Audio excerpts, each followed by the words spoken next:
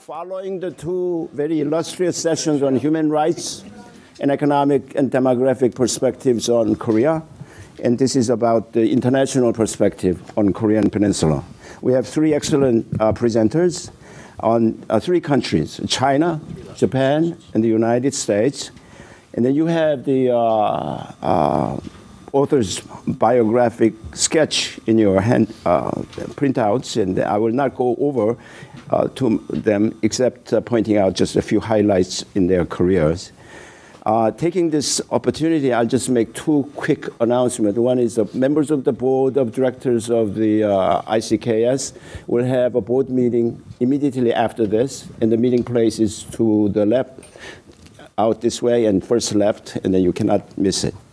The second announcement, somewhat unrelated to this, but I think some of you may be interested in it.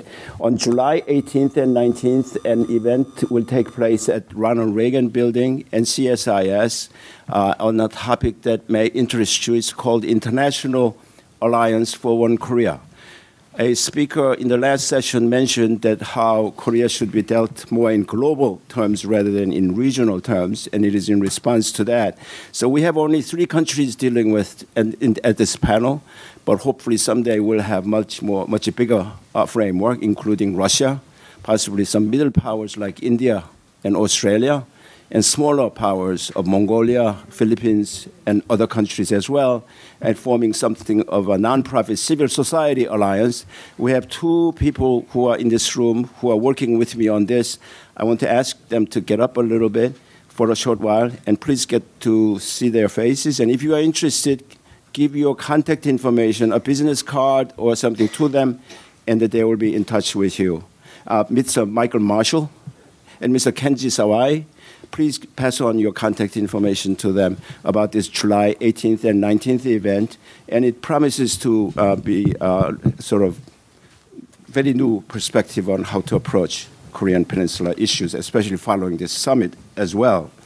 So uh, that's the announcement. And today uh, we have uh, uh, three speakers. The first is on China, Mr. Gordon Chang is a very well-known person, uh, not only in academic circles, but in general public sense as well, because he's been a sort of media star on Northeastern affairs in CNN and other places. He's been consulting governments, uh, consultation with the CIA and other intelligence communities, and he is a voice uh, sought after every time anything happens in Northeast Asian region. Here's Mr. Gordon Chang. Thanks, Jay. The Chinese Foreign Ministry just issued this quote, China strictly implements United Nations Security Council resolutions and is not the crux of the North Korean issue. Well, we can argue about what the crux is, but we can't argue about the first part of this statement because China has not been enforcing UN Security Council rules. And I start my paper talking about China's sanctions busting, and I do that because I think it's a good window into Chinese intentions. So we, we should take a look at February 18th of this year. On that day, the Chinese Foreign Ministry announced that in order to comply with Security Council Resolution 2321, which was adopted on November 30, that China was not going to buy coal from North Korea for the remainder of this year. Now, President Trump and others hailed the decision and suggested and signaled that China was going to disarm North Korea for the international community. He said, for instance, that this is a big step, quote unquote, um, for stopping and turning away North Korean coal shipments. Unfortunately, China bought coal from North Korea in February after the announcement. They did so in April. In April, satellite imagery shows a North Korean ship going to the Chinese port of Tongjang. And the foreign ministry said, oh, yes, there were North Korean vessels in Chinese ports, and we allowed them to unload for quote unquote humanitarian purposes, but China did not quote unquote import the coal. that was April. In May, the Washington Post, Anna Fifield reported that people along the China North Korea border saw large coal trains go from North Korea to South Korea, and they also saw coal trucks. And in June, there were five North Korean linked ships going and unloading coal in Chinese ports, in Shanghai and in ports in, in northeast China. So the question is what's going on here? It's just not coal, though. China has also been busting the mineral import sanctions. So, in violation of resolutions 2270 and 2321, China has been buying zinc, copper, and silver from the North Koreans. Voice of America, which first reported these mineral uh, purchases, asked the question Are these purchases just the result of an administrative error, or is this the result of a conscious policy on the part of Beijing? I think that when we look at the whole sweep of events and relationship between Pyongyang and Beijing, we have to understand that these purchases, in violation of Security Council resolutions, are the result of Chinese policy. And, you know, we have seen now a predictable pattern. The international community adopts sanctions against North Korea, and the Chinese make a big show of complying at first. But when people in the international community start looking elsewhere, Middle East or whatever, then China goes back to its banned commercial purpose, uh, purchases. Now, this persistent conduct, of course, then raises another question. What is China trying to do with its relations with North Korea? And of course, we heard a little bit about this in the previous panel when we were talking about THAAD. Now, I argue that despite this downturn in, or apparent downturn in relations between these two fraternal regimes, China still sees North Korea as a weapon, a weapon against the United States, a weapon against its allies, and a weapon against the international community. Now, most analysts, many analysts say, oh, you know, the Chinese, because of its support of North Korea, all they want to do is maintain stability. And the Chinese themselves reinforce this notion that they just want to give peace a chance. Yet, if indeed this narrative is true, that China just is trying to support North Korea to keep peace in North Asia, then why would Beijing be trying to make North Korea even more of a threat to all of us? And in this connection, we need to look at four particularly disturbing trends. First of all, China has been supporting North Korea's nuclear weapons program. In the spring of last year, David Albright of the Institute for Science and International Security reported that North Korea was sourcing flasks of uranium hexafluoride, vacuum pumps, and valves for its nuclear weapons program from China. Also, at the end of last year, a Chinese company we found out, Dandong Hongxiang Industrial Development Company, um, was implicated in a scheme of selling chemicals to the North Koreans especially aluminum oxide, which is used to process fuel for nuclear devices. Now, this flow of materials from China to North Korea has been continuous, has occurred for perhaps 20, 30 years, and so we have to come to grips with what's going on. Second, China has been involved in supplying equipment and probably technology for North Korea's ballistic missile program. So, as an initial matter, on April 15th of this of 2012 in the big military parade through Kim Il Sung Square, we saw the KN-08 missile for the first time, a liquid fuel ballistic missile. It was riding on a transporter erector launcher, and that TEL looked like it came from Sanjiang Space Special Vehicle Company, which is a unit of China Aerospace Science and Industry Corp which itself is connected to the Chinese military, the People's Liberation Army. Now, China admitted later on, under questioning from the Obama administration, that, yeah, it sold the chassis for the TEL. That's unlikely that they just sold the chassis. Um, but even if it were just the chassis and not the entire missile interface, which is much more probable, even if it were just the chassis, this made the KL, KN-08 a real threat to the United States and to other countries because the KN-08 can reach the West Coast, we believe, and what China did was it made the missile mobile. Also, we've seen the North's longest range missile, the Taepodong. It's not really a usable weapon. And it takes weeks to transport, assemble, fuel, and test, and we can kill it on the pad. But that's not true for the KN-08. Thanks to our friends in China, the KN-08 is mobile. Because it's mobile, it can hide. Because it's hot, because, because it can hide, we cannot reliably destroy it before launch. Now, there are other indications of Chinese support for the ballistic missile program. The missiles that the North Koreans launched on August 24th, February 12th, and May 21st look like they are variants of China's JL 1 submarine launched missile. Now, Bruce Bechtol, who not here, but Bruce Bechtol and Tal Inbar um, of Israel, of the Fisher Institute, noted this similarity.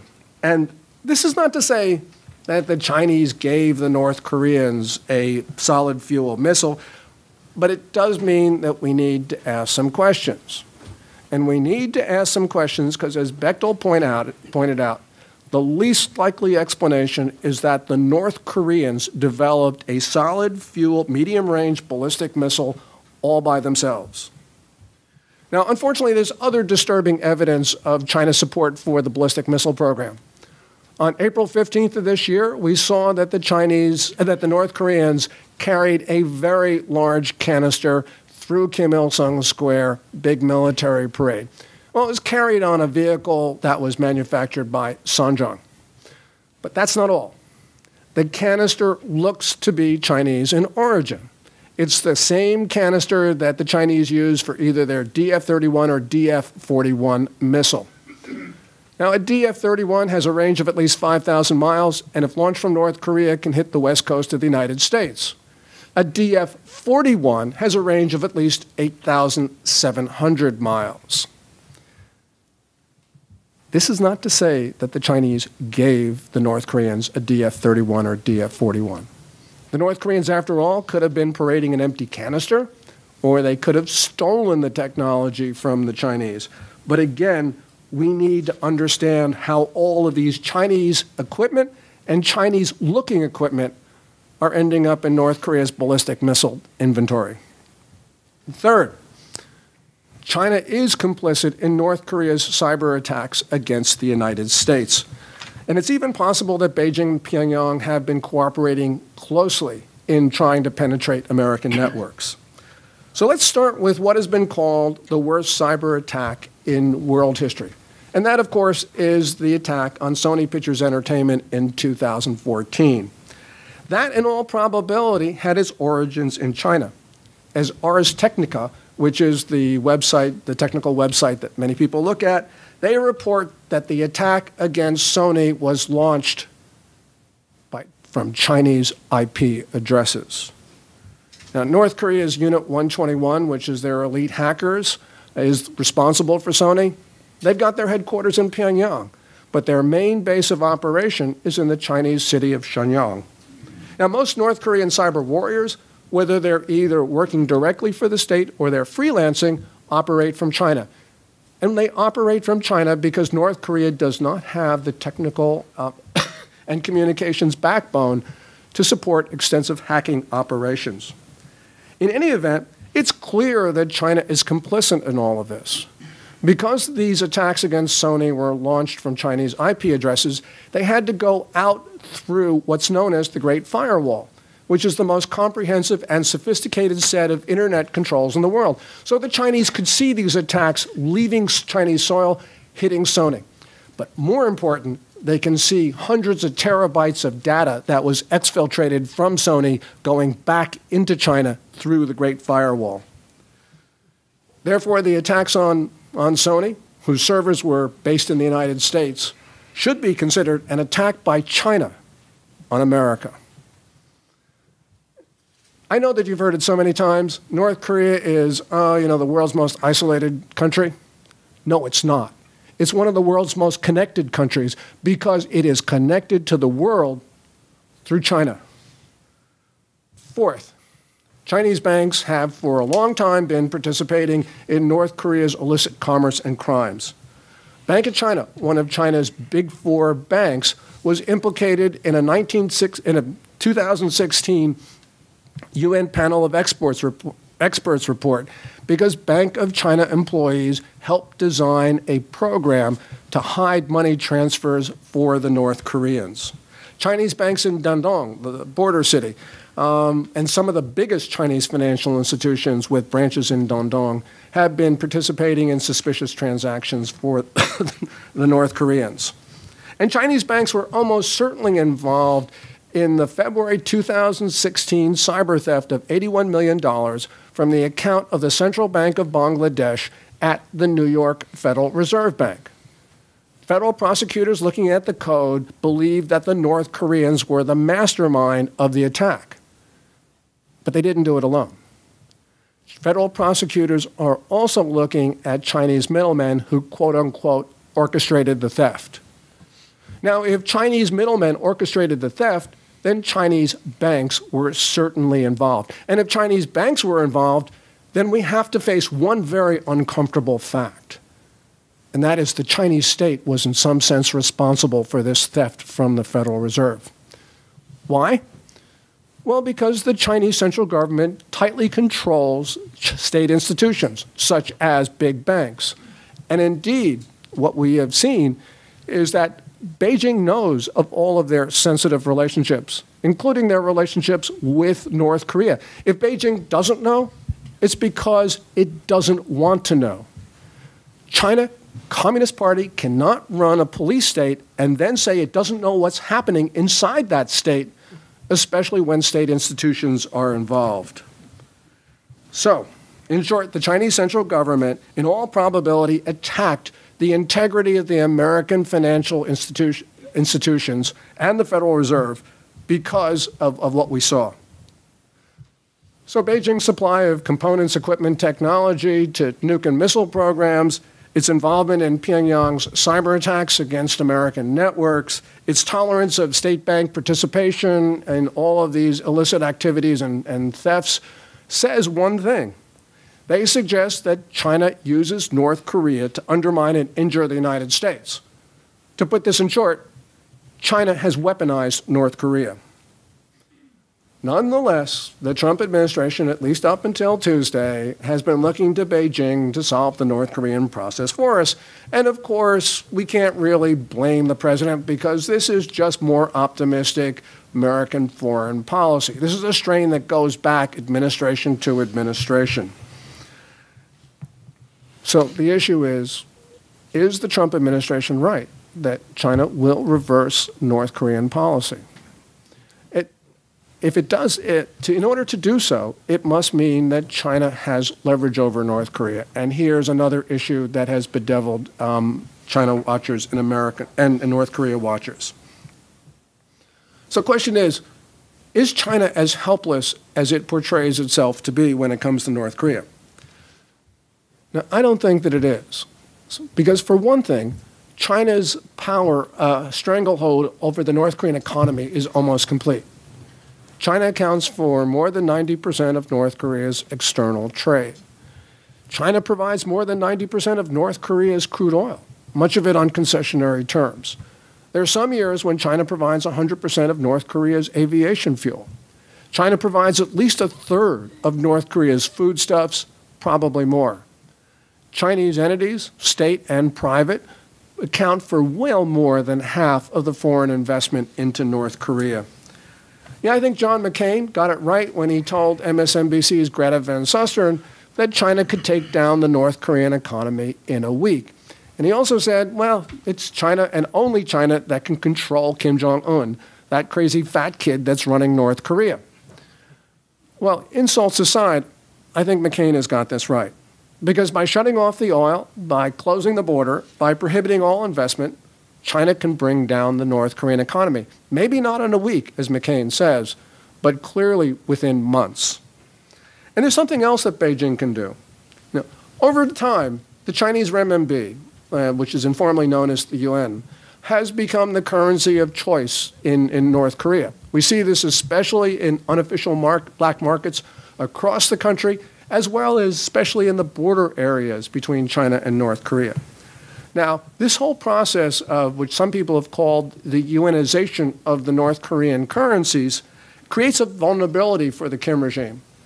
Because the Chinese, if they ever decided to demonetize their, their notes, could bring down the North Korea, the most um, productive sector of the North Korean economy. They could say, look, you know, we're taking these notes out of circulation. If you want the new notes, you got to go to a bank in China. This is what the Indians just did about six months ago. And it could strangle the North Korean economy. Now, by doing so, Beijing would have the power over the North. But it's not just economics we know about. China is the primary backer of North Korea in uh, international councils. Used to be the governing board of the International Atomic Energy Agency. Beijing was its primary sponsor. Now, of course, it's the UN Security Council. Moreover, we have seen China has supplied equipment to the Korean People's Army, especially for their missile and nuke programs. So, yes, China supplies many things, but the most important thing that China supplies is confidence. It is confidence in the minds of regime members that China stands behind them. And indeed, I don't know if Beijing could ever change the mind of Kim Jong un. I don't know if anybody could ever do that. But we do know that the Chinese can change the minds of regime elements and convince them that it's no longer in their interest that they support North Korea's weapons programs or indeed Kim Jong un himself, who has become increasingly unpopular because of all the demotions, purges, and executions. And of course, this would be a particularly important and consequential time for China to act because the North Korean regime doesn't look that stable. In the middle of January, General Kim Won Hong, who was the Minister of State Security, was demoted and purged. A few weeks after, five of his senior subordinates were executed. On in the middle of February, somebody gave the order to kill Kim Jong Nam, the elder half brother of ruler Kim Jong un.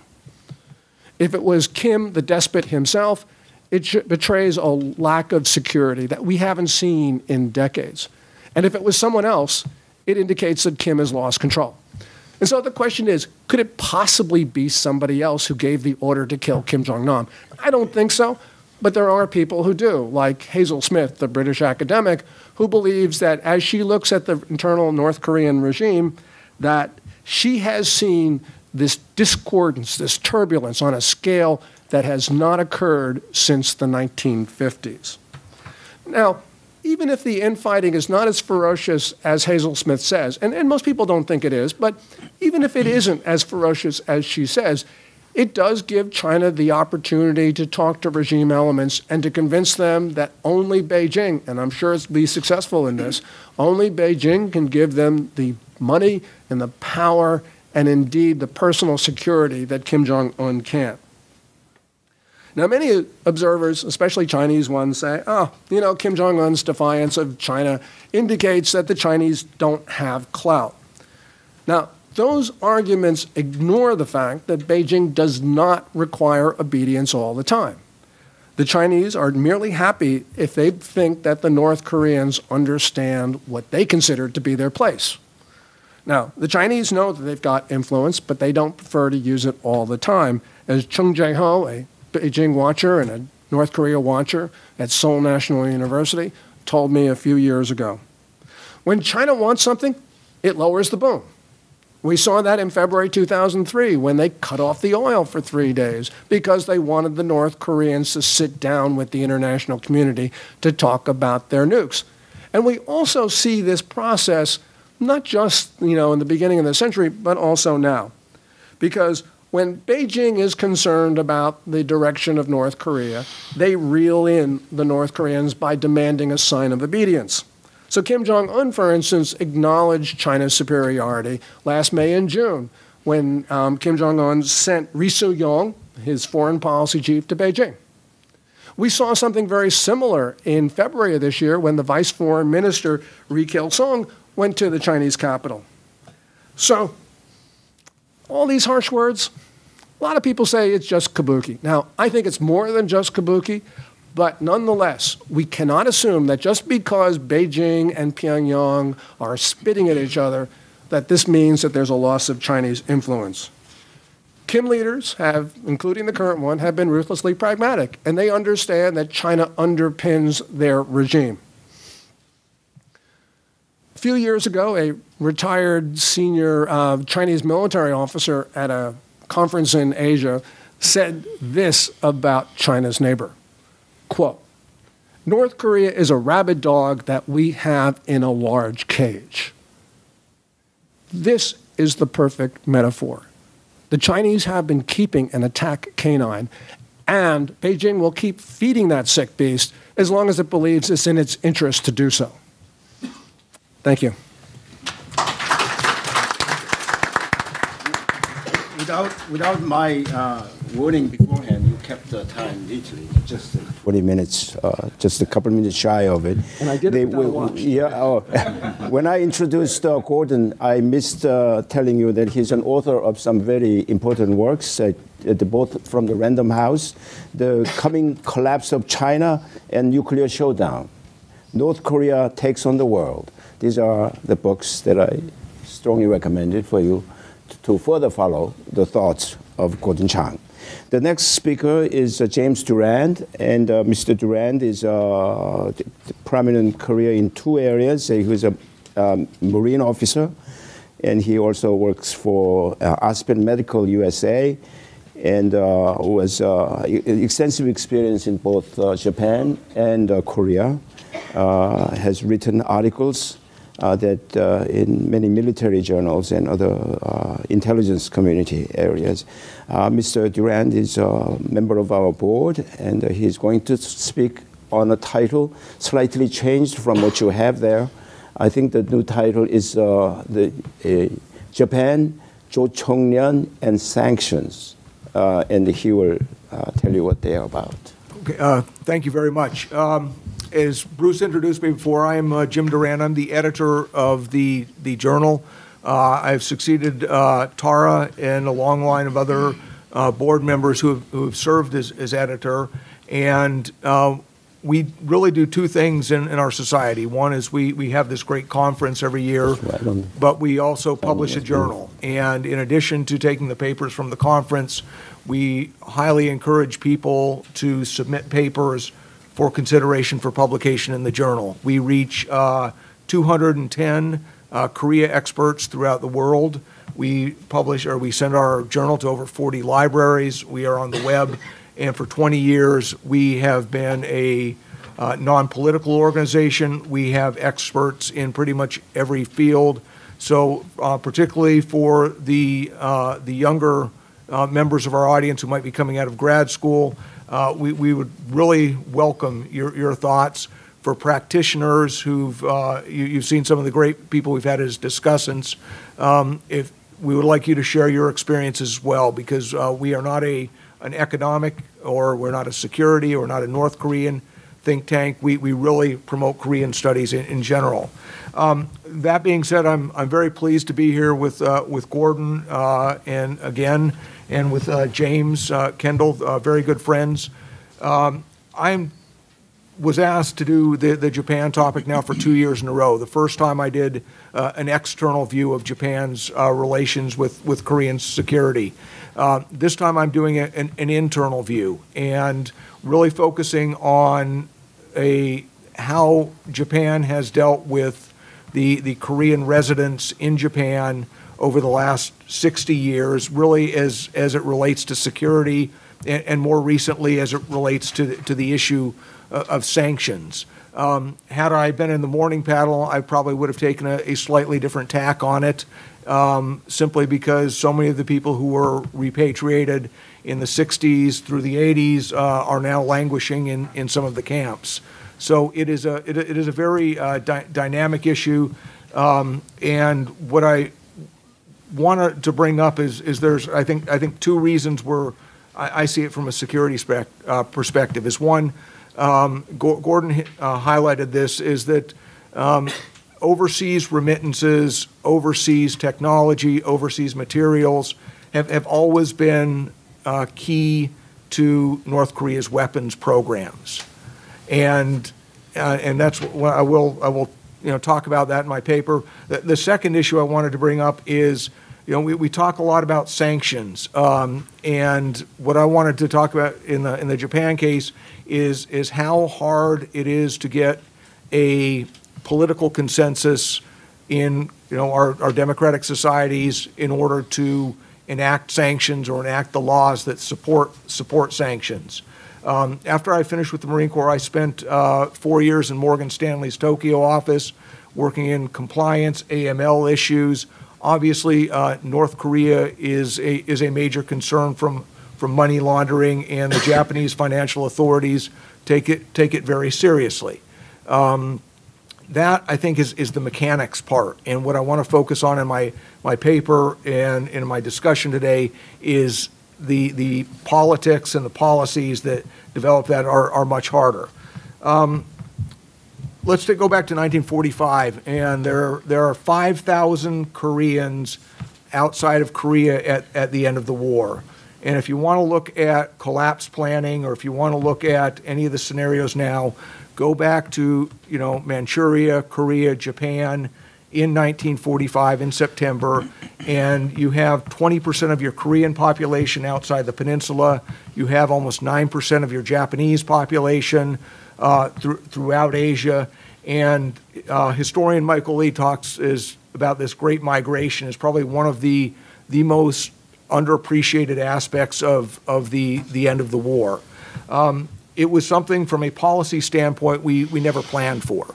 I say we, uh, SCAP did not plan for it. Uh, we knew there were Koreans in Japan, but everyone, including the, the American planners, uh, the Japanese government, uh, just assumed everyone was going to, going to return. And so in the first uh, months of the war, you have approximately a million of the 2.4 million Koreans, you know, return, and it's completely uncontrolled. SCAP uh, then says we need to register everyone who is returning. So, you know, not only can we can we control this process, but also that we can can try to prevent people from from coming back to Japan at that time. And so you have a, a process where everyone who wants to return to Korea registers. And so about 90% of the 600,000 people who registered have registered to return to South Korea. So, and that largely reflects that most of the people, uh, I should say Southern Korea, not South Korea, you know, came from the, the three, uh, two southern provinces and, and Jeju Island. Um, the, the process, you know, is, you know, by, by putting in a, a bureaucracy uh, to do this, it, it, it slows down the process. And uh, um, U.S. government tells the Japanese government you must fund the repatriation. Uh, again, the, the, Japanese government is overwhelmed trying to get you know the, their people their people back to uh, Korea at this time. The uh, the actual task of repatriation was not carried out by the American forces, but by the British Commonwealth occupation forces, who largely turned this over to the Japanese police to control uh, the, the, repatriation process. Uh, from that, you have a single organization, the League of Koreans, emerges. And the R- League of Koreans really steps up into administering welfare benefits on behalf of the Japanese government, but uh, controlling repa- repatriation and instituting Korean language education because we need to prepare for life back in Korea. And so language and education are always tied with, with repatriation. Um, again, 1947, the U.S. Uh, U.S. government directs the Japanese government that all Korean schools must comply with, with Japanese laws, and the Japanese laws then say, well, you have to do education in Japanese. You have, uh, in that year, the uh, Osaka Kobe riots, 5,000 people arrested, two people are, are killed, and the U.S. government then in turn tells the uh, Japanese government you need to disband disband the League of Koreans. So what you should what should have happened at this time is the rival organization, which was Mindan, uh, should have been the beneficiary for this, and, and it was not. Um, again, this was uh, Lee Sung-man was not a, a supporter of of Mindan at the time, and so you really go into the, the Korean War with most of the people who are affiliated with any organization in Japan uh, have been affiliated with the, uh, the League of Koreans. Uh, during the war, a second, uh, a second organization comes up. It's called Minjun. It's a, a little bit smaller, but the war really crystallizes, you know, and, and divides the Korean community in Japan. You have about 700 men from uh, the Mindan organizations go fight uh, on the Allied side. You have sympathizers on the northern side who are attacking U.S. bases, attacking police boxes and, and other factories. And the Japanese government, uh, under uh, Prime Minister Yoshida, has gone so far as to draft a, a deportation order. And that goes to, to SCAP headquarters. SCAP uh, declines to, to do that. Um, as the war continues, uh, again, this, this divide divide happens, but the successor organization that comes out of that, the League of General uh, Residents in Korea, is now it's it's almost it's flipped uh, a mirror flip. You have about 90% of the Koreans are now joining this organization, which is aligned with with Pyongyang, uh, even though again you, you know geographically everyone is is from South Korea. Um, this organization is founded in, in 1955, and at this time you, you have a situation uh, where all the Koreans in Japan, they are, they are stateless people. The, the Treaty of San Francisco has stripped them of their Japanese nationality, and in order to get any, any type of benefit, you have to belong to one of these organizations. Um, repatriation, which had you know, stopped, about, stopped during the war, is, is is not an, an issue yet. But North Korea uh, realizes, okay, you know, we, we need some of the, the technical expertise in Japan to facilitate our, our reconstruction. And most of the, the, the contemporary scholarship out there says, you know, that, you know, North Korea did not really have that much of a role in encouraging the repatriation that is going to happen starting in 1959. If you look at some of the, the, the declassified documents, the, um, the excellent work by, by former member, members of the, uh, the, the Chosen Soren who've, who've just come out and said, no, this is actually how it happened. You know, you find that Kim Il sung in 1955, 1966 made an active campaign to try to get people back and to try, and this is when, according just uh, recently, the South Korean Ministry of Foreign Affairs says this is when the money starts going to Chosen Soren schools. And Chosen Soren and Chongryon, or same thing, they play a, a critical role in going out and convincing skeptical people to come back. And this was, uh, if you if you think a military recruiter is uh, is bad, that's this is the same the same type of sales sales tactics. Um, North Korea is a great place. You will be guaranteed a payment. You will be guaranteed better housing. Your children will get into, into better schools. And this was all facilitated through the, teachers. And once they would get the volunteers to go, you would have uh, basically Chongryon people going with them, you know, through the, the interview process. Uh, up up to including the the interview with the the ICRC rep, and that was a a point of no return because there's no diplomatic relations. Once you pass this test, you go on to uh, you go onto the ship and you you you go to North Korea. Um, a total of 92,000 people are repatriated from 1959 until uh, the the early 1980s.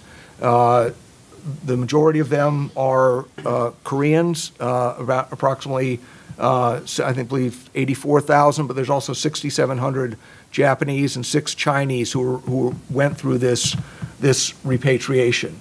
And if you heard Bob Collins talking about Songbun today, this is when, at the same time, the North Koreans are basically developing a, a classification system and, you know, contrary to the promises you've been told where life is going to be better, well, now you're you're at the bottom of the North Korean North Korean system. So you, you get there.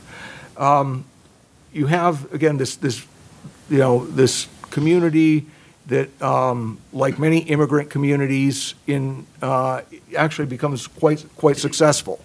And in the mid 70s, the mid 1980s, uh, the Korean community in, command, in, in Japan is, is, doing, is doing quite well. And and at this time, uh, in uh, September 1986, uh, Kim Il sung sends out what was known as the September 30th instruction. And he says, I need Chongryon to start sending money back to North Korea. And what we find out later, again, from uh, uh, Dr. Uh, uh, Dr. Park, uh, who was a, a uh, Chosun University economist, you know, this was tied to the, the weapons program.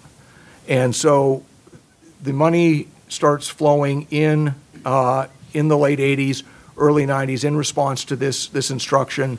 And one, one um, you, you look back at the, at the period and you look, we, we knew there was a problem. I say we, the United States government, the United States intelligence community, um, because by the early 90s we're in the, the, the first nuclear crisis. And we're trying to figure out how we're going to address this.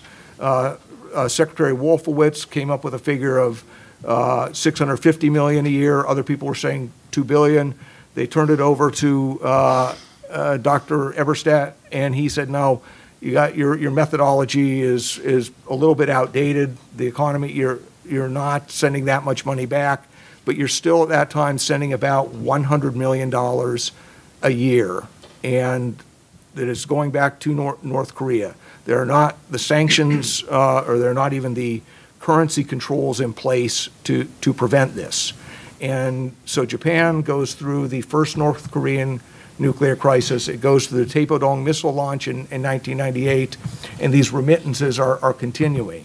And the remittances were absolutely critical in terms of not only the cash that was going back, but just as important is on the um, on the Mangyongbong 92, which sailed twice a month.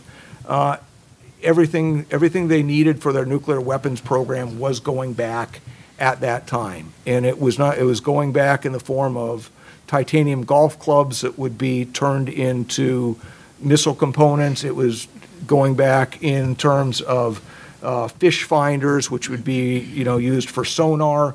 And it wasn't just the, the, the money and the high tech that was going back. And you look at the, the work that was being done by a lot of the academics at the time, um, it was, you know, it was old refrigerators that were going back simply because if you could extract the, um, the, the freon and, and things in there, it could be used for weapons. It was abandoned bicycles that could be used for ball bearings. And so when you when you talk about a regime that is spent a lot of time and effort to get components for, for weapons, uh, th- th- this is this is the origin. Um, the policy, you know, the policies do not change until um, the first summit between Prime Minister Koizumi and, uh, and Kim Jong il in, in uh, September of, of 2002. And um, what changes that is, you, is during the, sec- the afternoon session, uh, Kim Jong il comes out and you know, basically, and admits it's like, yes, we are responsible for kidnapping 13 Japanese nationals. Eight of them are dead, five of them are alive. And to say that that shocked uh, not only the prime minister, uh, but it really shocked the people, the people of Japan. Uh, the, the, prime minister went in there with a, a, lower figure. He did not expect that that many people would have would have uh, been killed by the North Korean regime.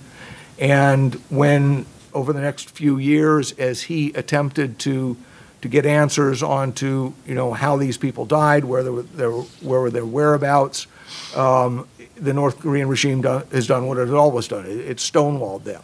Um, and it provided inconclusive answers. And we, we started out this morning, we, we talked about, uh, we talked about Otto Warmbier and, and his family. Okay, the, the face of the Japanese abduction issue is a 13-year-old girl, Megumi uh, Yokota, and she was one of the abductees who was taken in, in 1977, and she, along with the other abductees, were what really galvanized Japanese opinion into supporting, you know, sanctions. And you can draw a line from, you know, when the abductions are revealed, and you can look at, you know, the, and that I would say, I, I have to give credit to Dr. Uh, Kim Hong Nak, who, uh, who did the, the research on this. He was a longtime uh, member of this organization. He was the editor, but he was um, he was he was the president. And uh, in 2005, he was really the first to say, you know, Japanese public opinion now uh, understands the North Korean threat, you know, whereas we we didn't understand it in terms of the nuclear weapons or the ballistic missiles, 90% of the people you know, equate abductions to, to North Korea, and that was that was their largest concern. And so, following following this in 2004, you have two two laws that are passed. One is basically it is a, a maritime inspection law, and it is requiring uh, you know all ships to carry insurance. It was a a great law because most North Korean ships uh, don't carry any insurance at all. And, but also in that law, what it allowed the government to do is it allowed the government to bar ships from Japan from uh, that that threatened its its ports or threatened its security. The second thing that came out was they finally acted a currency control law that had some some teeth in it, and that was you know limiting remittances, you know only to to ten thousand dollars. In 2016, they they drop it drop it further to a thousand. But in in closing, what I think this this organization shows you is, um, you know, one, you know, overseas remittances, whether they are from China, whether they're from Japan, whether they're from other countries, are, are absolutely critical to the North Korean weapons program. And in Japan, you have the, the advantage of being able to look at this, you know, in, in retrospect, you know, with a lot of publicly available documents by, by people who were involved on, on all sides. Uh, the, the second thing is the challenges in getting an international sanctions regime in, in place. Uh, as I said, it's one thing to give a customs official or a banker a list of, of entities and say, we don't want you to deal with these, these people. It's, it's, a, it's much more challenging from a policy standpoint to, to develop the laws and to get the, the political capital behind this to, uh, to, to allow you to do that. Um, again, I appreciate the opportunity to, uh, to speak to you today and look forward to the discussion. Thank you. Thank you, James. The, the story of Jap- uh, Koreans in Japan is a very complicated story, especially those who were brought to North Korea. Uh, I'd like to recommend a movie. It's called The Dear Pyongyang. It's written by a daughter uh, about his family's uh, trials and tribulations in North Korea. The other is uh, done uh, is a novel. It's, a personal story of a defector named uh, Kang Chul Hwan. He wrote a book called The Aquariums of Pyongyang, and he himself, his grandparents, his, his grandmother was a revolutionary from uh, leftist revolutionary from Jeju Island, and then he illustrates in a more dramatic story of personal life. And uh, it interested George W. Bush, who is not known to be a great reader, but he gave uh, 40 minutes of presidential time uh, talking about this book with Mr. Kang in the White House. But anyway, next speaker is Mr. James Kendall, and he uh, is uh, like Mr. Uh, Durand, is a ex, still unlike the Mr. Durand, who is an ex a Marine officer. He's a current. No, he's retired. I'm retired. You, you retired? I'm retired. Oh, oh, you look too, too young for that. Okay. Not I thought that you were, you were a career uh, Marine officer. Uh, he has a, a very interesting uh, view about the uh, how what Korea means to America, uh, how intrinsic it is or uh, not, and so on. Anyway, perspective not frequently heard of. so we'll hear Mr. Kendall's talk. Uh, he also changed the title a little bit, uh, and you will introduce your new title. Okay. Well, thank you. Thank you very much. It's uh, it's an honor to be here. It's a second time to present here. Uh, um, so again, I'm happy to be asked back. Um, my background is uh, is East uh, an East Asian uh, foreign area officer uh, in the Marine Corps, but at the same time, my most of my expertise is with Japan uh, and also serving at various foreign policy uh, posts within the you know Washington D.C., including the State Department and the Pentagon a couple of times. So I, I come at this as somebody who who knows a, a bit about Korea, but I take the point of view a, a U.S. centric view, let's say. The my paper is entitled "Gripping the Wolf's Ears: America's Korean Dilemma." My paper sought to explore the curious position that the United States finds itself in in 2017. A peninsula in East Asia contains one of its most dangerous and unpredictable threats, and a fractious ally which, with which it has an open ended obligation to defend. Yet, prior to the occupation of Japan in 1945, this peninsula had only been of peripheral interest to America in geopolitical terms, and certainly not a vital one. However, the Cold War struggle with communism and the need to defend Japan and deter Soviet aggression in Western Europe meant that the United States inherited historical Japanese strategic concerns over Korea, hitherto a diplomatic afterthought of no intrinsic value to America. Successive presidents of the United States have attempted to scale back the United States military commitment on the peninsula with mixed success. Post Cold War, America's emphasis has been on first, preserving regional order, and second, preventing nuclear proliferation. the US ROK alliance, which started in reaction to communist invasion, has proven to be economically and politically beneficial to both countries. However, strategically, to paraphrase Thomas Jefferson, America finds itself holding a wolf by the ears. A highly disagreeable thing to be doing, yet letting go would be worse. A collapse of North Korea or a second Korean, world, uh, second Korean War would be catastrophic, unpopular, and highly destabilizing. Yet the idea of the odious Kim Jong un possessing effective nuclear weapons and the means to deliver them is equally appalling. North Korea has clearly stated that nuclear weapons are a vital strategic interest that it will not bargain away.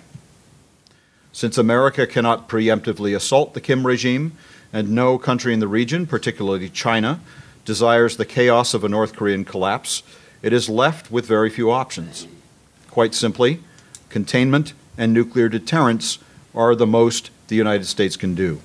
Furthermore, considering the Korean Peninsula's lack of intrinsic strategic value to the United States, containment and nuclear deterrence are all that America should do. On January the 12th, 1950, in a speech at the National Press Club in Washington, D.C., President Harry Truman's Secretary of State, Dean Acheson, described the United States Asia policy. In this speech, Secretary Acheson traced, traced America's strategic perimeter, including Japan, the Aleutians, the Ryukyu Islands, which include Okinawa, and the Philippines. He took pains to explain that the United States had taken upon itself the responsibility for the defense of Japan both for the Japanese sake and for the security of the whole region. In true geopolitical terms, America had drawn a line in the Pacific along what the Chinese PLA refers to today as the First Island Chain. At the time of the speech, France still controlled Indochina, and the British and Australians controlled Malaya and Singapore, so there was no need for Acheson to draw the line much further down into Southeast Asia. However, he omitted to include Taiwan and the Korean Peninsula in that line. The omission of Taiwan and South Korea could have been due to an allergy to involving U.S. troops further in the last remnants of the Chinese Civil War before, between Chiang Kai shek's forces and Mao's, and the fact that the United States forces had recently, 1948, withdrawn from Korea, uh, South Korea after elections. Furthermore, Neither the Korean Peninsula nor Taiwan Formosa had played a truly strategic role for the United States in the Second World War. They had simply not mattered that much to American war planners or diplomats, as I've already discussed. However, Acheson clearly declares that since Japan was disarmed, America had sole responsibility for, quote, the military defense of Japan, so long as that is required. Once American policymakers and planners ceased to think purely in terms of the defense of the United States and contemplated the defense of Japan, they inherited traditional Japanese strategic concerns. Korea was high on the Japanese list. After all, they had fought and won two wars over control of the peninsula. Whatever the reason for the omission of Taiwan and South Korea from the speech, five months later, on June 25, 1950, the North Koreans invaded South Korea. At the time, Dean Acheson and the Truman administration were pilloried for allegedly inviting the attack by not explicitly spelling out the United States commitment there. This, in my opinion, was unfair but understandable, as it is likely the communist motivations were varied and complex.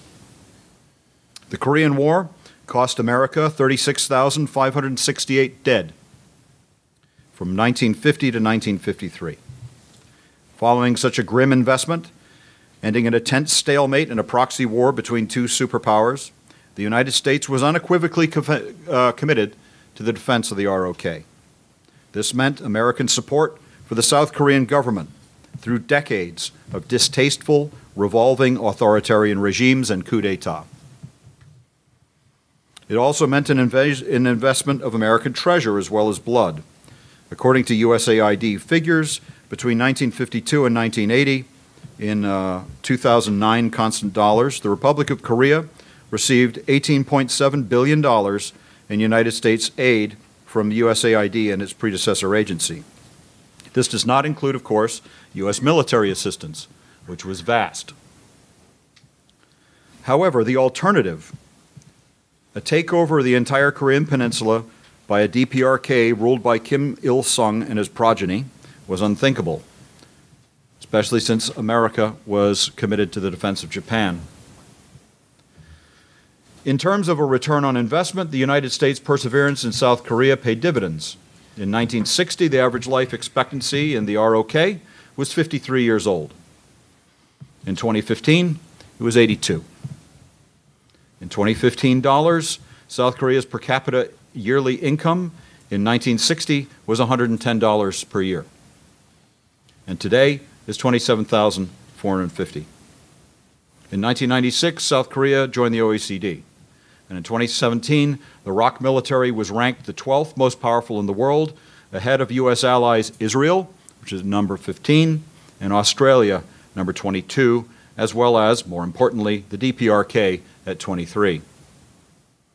Since South Korea's economic and military fortunes began to rise in the 1960s, and America's uh, burdens and relative strength uh, uh, both increased and decreased, the United States has been steadily seeking to reduce the amount of military assets stationed in South Korea. Today, the U.S. Army's 2nd Infantry Division, which is the, uh, the largest ground combat unit uh, in uh, Korea, is only uh, limited to its headquarters aviation and logistics brigade stationed in Korea, while its maneuver and fires brigades are stationed in the continental United States. U.S. ground troops have begun a lengthy process of withdrawal from uh, the DMZ to south of Seoul. The U.S. Air Force maintains a presence at two air bases, at Kunsan and Osan, with two air wings, and the U.S. Navy and Marine Corps maintain a total uh, token presence in Chinhae.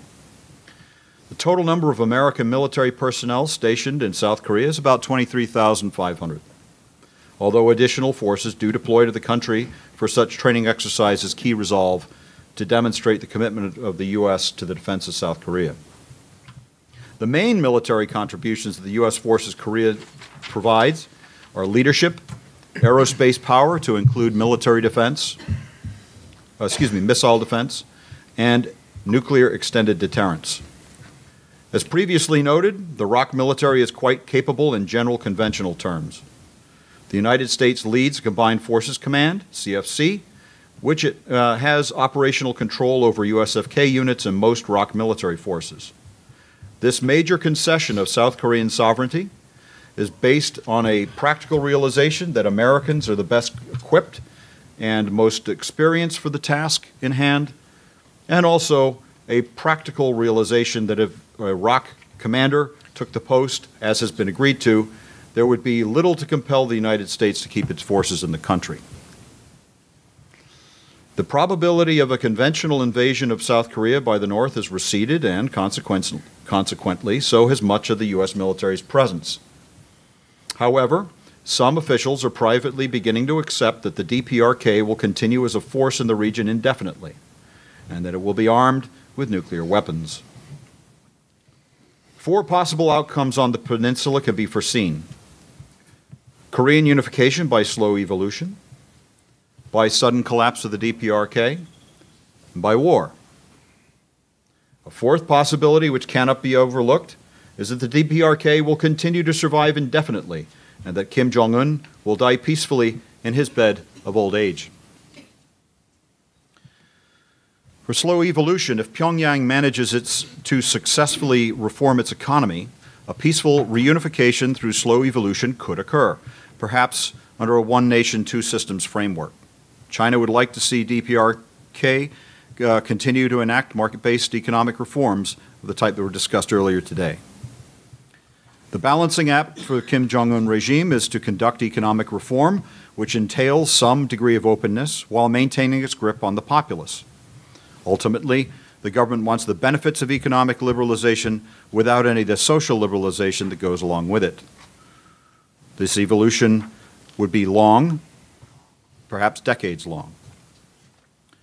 If Pyongyang gets it wrong, a collapse could happen. Because of the opaque nature of the North Korean regime, this is impossible to predict. It could literally happen tomorrow, without warning. A case in point was when Kim Jong un mysteriously disappeared from public view in the autumn of 2014. Speculation started immediately about a possible palace coup in North Korea. Obviously, it was a false alarm. If the DPRK did collapse, it would trigger the biggest humanitarian crisis since the fall of Pol Pot in Cambodia. Refugees would likely flood overland into South Korea, Manchuria, and the Russian Far East, and by sea to Japan. Depending on the nature of the collapse, the North Korean military or parts of it may or may not hold together. The need for massive amounts of virtually everything would necess necessitate UN and ultimately foreign military assistance. This would be extremely sensitive, as the xenophobic North Koreans will resent any foreign intrusion, and some combat could be possible. After the initial response, the rehabilitation of North Korea would be a massive undertaking. As with South Korea from 1952 to 1980, American and Japanese financial aid would be, would be expected and required in helping the Koreans chart their recovery. The ROK would certainly expect Japan to pay for a large share of the reconstruction costs of North Korea, for example. This might entail Tokyo paying North Korea's share of reparations, adjusted for inflation naturally.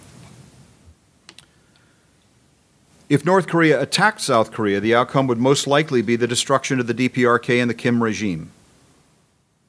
Combined Forces Command, U.S. PACOM, the Defense Department, and, uh, and uh, all the apparatus of national security in both countries have trained for this eventuality and plan for it constantly.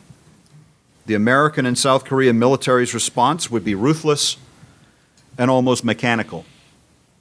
However, the North Koreans would likely fight fiercely, and casualties on all sides would probably be high.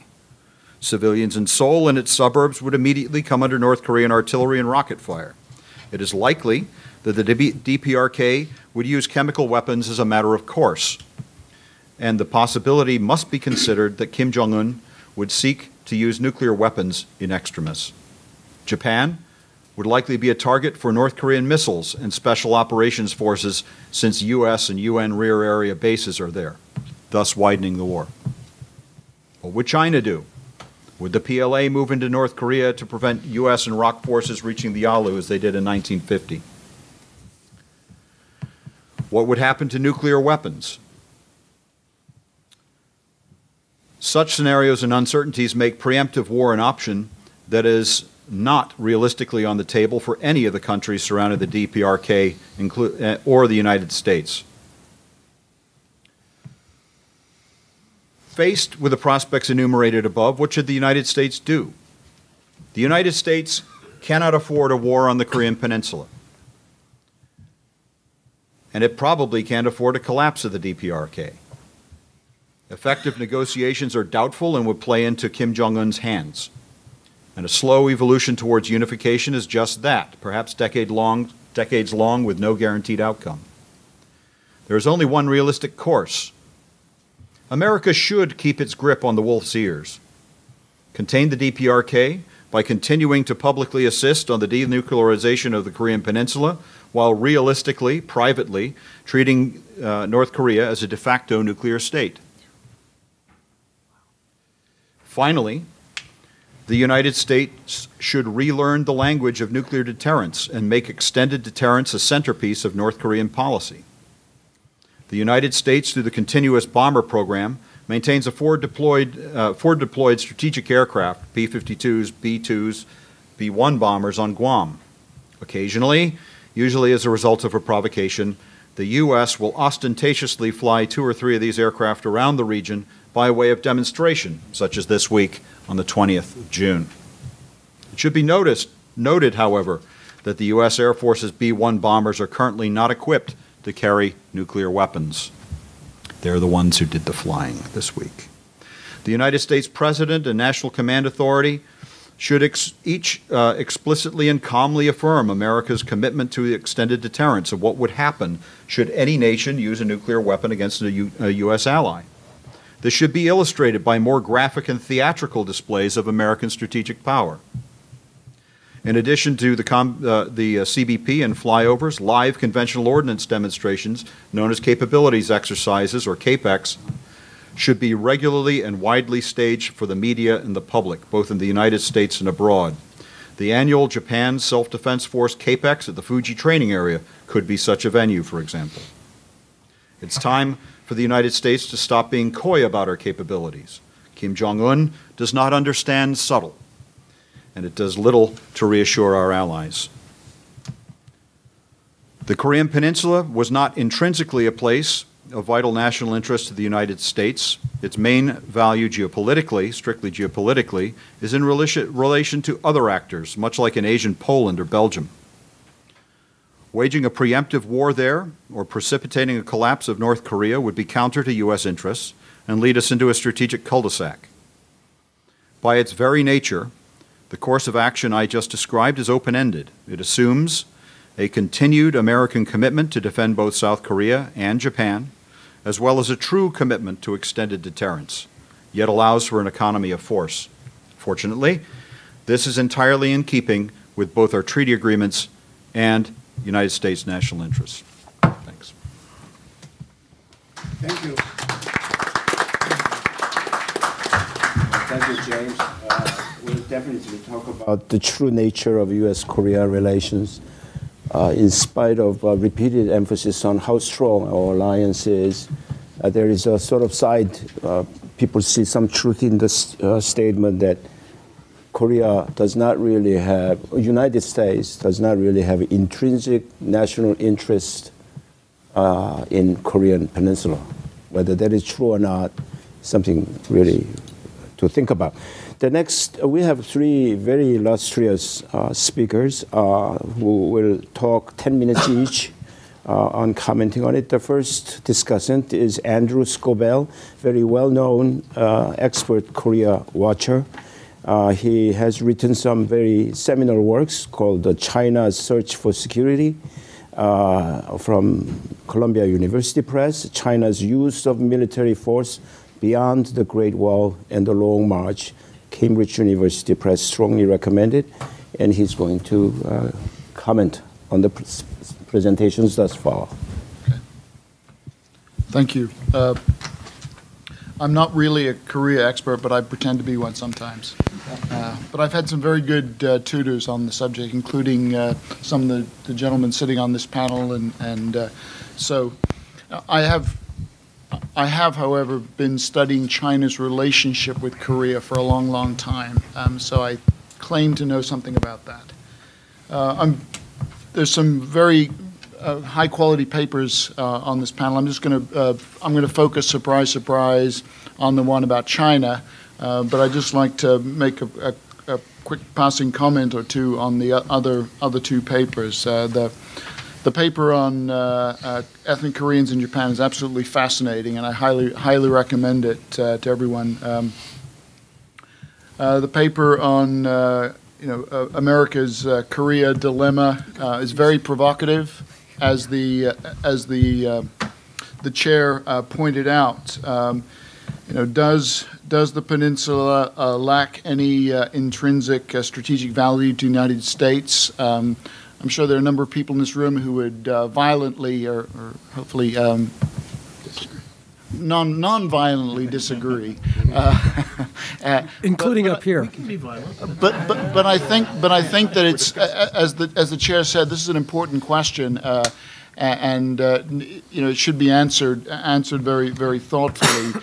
Uh, I think the, the author really lays out very nicely, uh, uh, very logically in his paper, different different possible scenarios. But I would just encourage you to look at some of the voluminous or cite some of the voluminous uh, uh literature on uh, collapsist literature, uh, um, and in, particular, um, um, people like David Maxwell and my RAND colleague Bruce Bennett have written written some insightful stuff. So there's a lot out there, but a, a couple of citations I think would be would would bolster your arguments, basically. All right, now to uh, uh, Gordon Chang's uh, uh well-written and well-documented uh, paper. Uh, I, you know, it's again. I recommend the. I, I, strongly recommend this paper to to, to everyone, um, but perhaps not shockingly, especially to Gordon, I disagree with with, with some of his interpretations or, or would dispute some of his interpretations. Uh, but I think he captures very well uh, the, uh, the, the, the, sort of the, the, irony of China's uh, stance vis-a-vis the Korean Peninsula. You know, on the one hand, China's engaged in, I think this is a great word, tirade on THAAD. Uh, so it's it's lambasting South Korea, but at the same time, it has in comparison, in contrast, had kid gloves. It's using kid gloves vis-a-vis North Korea, and it just it just seems the uh, in some ways the ultimate irony. And of course, um, Gordon asked the important question. You know, what explains uh, what China is doing? And uh, I think we. I think there are two two areas where, where I uh, disagree. I would like to focus on that I disagree uh, with with Gordon uh, Gordon's interpretations. You know, first of all, I don't think Beijing sees uh, Pyongyang as a weapon. I think it sees uh, North China sees North Korea as more of a shield. It's not a very good shield, uh, uh but that's uh, that that's uh, and in keeping with the, the, sort of the canine the canine metaphors. You know, is is North Korea a wolf? Is North Korea a rabid dog? Uh, it, it's a guard dog, but it's not a very obedient guard dog. Uh, uh, so, uh, you know, what, what's driving North, China's uh, Korea policy, North Korea policy? I think it comes down to one thing, and that is insecurity. Uh, it's hard to imagine, you know, we, we keep hearing about the Chinese are coming, they're eating Mexico's lunch, they're uh, they're stealing American jobs, et cetera, et cetera, et cetera. Uh, and their and their their military is growing stronger and stronger by the day, and and, and threatens uh, threaten China's threatening all its neighbors. It's hard to, for people to uh, take seriously the idea that China's reacting out of insecurity. But I think that's, in my assessment, that's that's precisely the case. Uh, and so I'm not justifying what China's uh, China's approach. I'm just trying to uh, explain it. So it's about insecurity, acute insecurity, and and China's top two worries um, vis-a-vis uh, Northeast Asia are one, instability on the Korean Peninsula, and two, the balance of power in Northeast Asia. And uh, while we, we might uh, argue very strongly that uh, what we have on the Korean Peninsula today is not is, is really doesn't qualify as stability uh, in any in, in any uh, real real sense of the term. But from a Chinese perspective, a fragile stability, the the current situation, which is knowable, they know what they've got. They're not happy with it, uh, but it's preferable to an unknown future of, uh, which uh, could be uh, even worse. And so the uh, you know China, as I like to say, has the has potential influence on North Korea, but it's reluctant to use it because it fears that really putting the squeeze on North Korea could make matters worse. That's it, it's uh, anyway. That's that's my that, that's my explanation for this. And so, uh, Wang Yi, the, the Chinese foreign minister, um, some a couple of years ago in a press conference uh, talked about China or, or, talked about Korea as the gateway to China, or the its doorstep, Munko, which you know uh, literally means uh, gateway or, or entryway. So from a Chinese perspective, this is very very sensitive real estate. And uh, instability or the, the possibility of instability is tremendously alarming uh, to uh, uh, Chinese, Chinese leaders. The second thing I mentioned that a great worry of China is the balance of power in Northeast Asia. From a Chinese perspective, the balance of power in the region is heavily skewed towards the United States. You know, U.S. allies, the Republic of Korea and Japan, not only have incredibly dynamic economies, but they have pretty damn good militaries. And by contrast, what does China have? Well, a pathetic excuse for an ally, but it's an ally. And that's, I think, the way the Chinese, Chinese view this. And as I said, they would be very happy uh, to have uh, that ally shape up or gradually go away. And, but as long as that process is, is, is, is peaceful and, and not destabilizing. But the great fear uh, in Beijing is that that process will be anything but stabilizing. So the, the second uh, thing I would disagree, uh, second point I want to uh, mention, uh, Gordon um, argues uh, that there has been no fundamental change in attitude in Beijing. Well, I might be splitting hairs, and you might, you know, you might throw throw rotten tomatoes at me or something, but uh, in a minute. But I, I think that there actually has been a fundamental change in attitude in Beijing towards Pyongyang, but there hasn't been a discernible change in policy. All right, so you may be saying, oh, he's splitting hairs, those damn academics, you know, what the hell do they know? But I, I think it is important, and I've looked at Chinese rhetoric. And that's, uh, and uh, I think rhetoric and rhetoric by the use of terms by Chinese leaders is very important. Because if they're very careful about the terms they use, and if they change, if the terms change, that signal, signals an important change in thinking. Now, and it increases the potential, the probability that there may be a change in policy. But where, where North Korea is concerned, I don't think we should hold our breath that there's going to be a change in policy. And I think, you know, President Trump has come to that realization uh, surprisingly quickly, actually. Uh, uh, but anyway, so there ha- what, what's the fundamental change in attitude?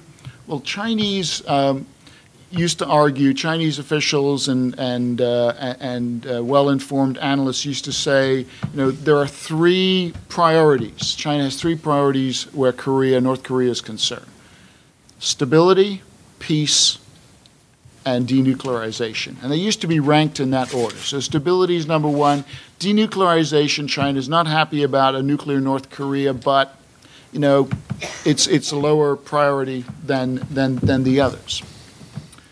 But what you've seen, roughly coinciding with the emergence or, or the emergence of uh, you know Fatty Kim III as as uh, as Chinese uh, netizens, and we've done at RAND an extensive study of, of Weibo, which is the Chinese equivalent of Twitter, looking at what Chi- ordinary Chinese think about North Korea, and they're not shy about about expressing their opinions. Uh, but uh, that has uh, since Kim Jong un has come to power, since Xi Jinping has emerged as the paramount leader in China, there has been a discernible uh, change in the way China thinks about North Korea.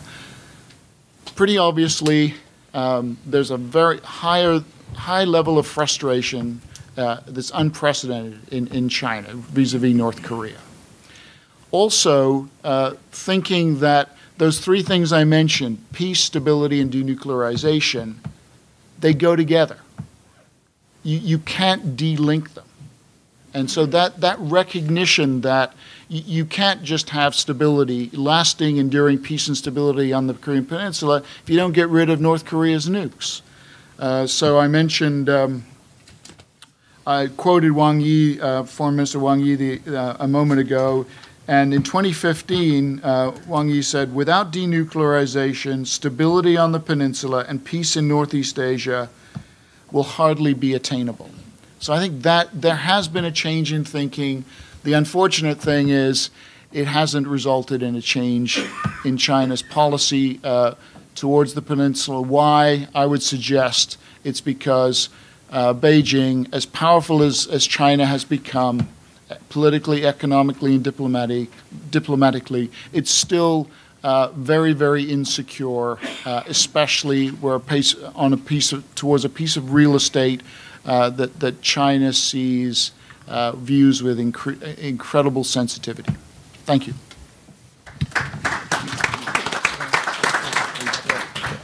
Our uh, next speaker doesn't need much introduction, David Maxwell.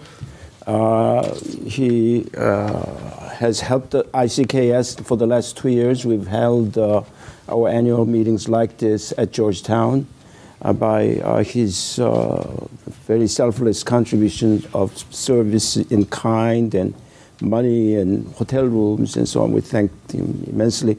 He always referred to Greg Scholar as a national treasure. I think of Dave Maxwell as a treasure of Korean studies anywhere. Uh, so I don't want to take his time. So thank you, Jay. Dave Maxwell next. Yes. Thank you, Jay.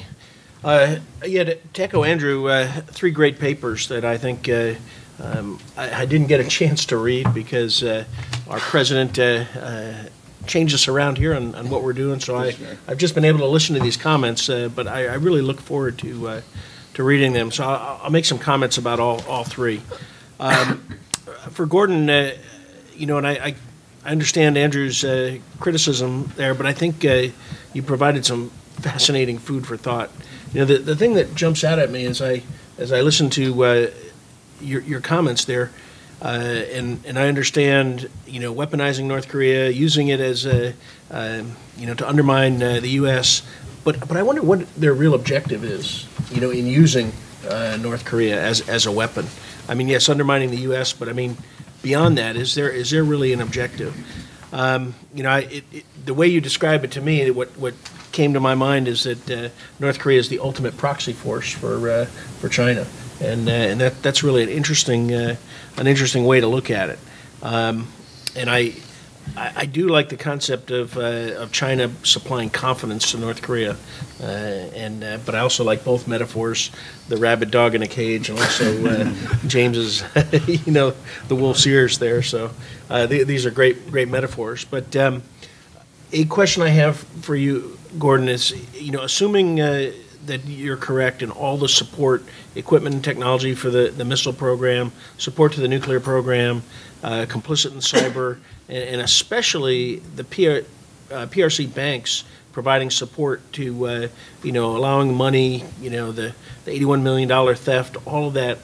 I, I'm wondering if, if we were to embark on a program uh, to uh, neutralize Department 39 and its illicit activities around the world to cut that flow of um, of, uh, of illicit money uh, going back to uh, the regime.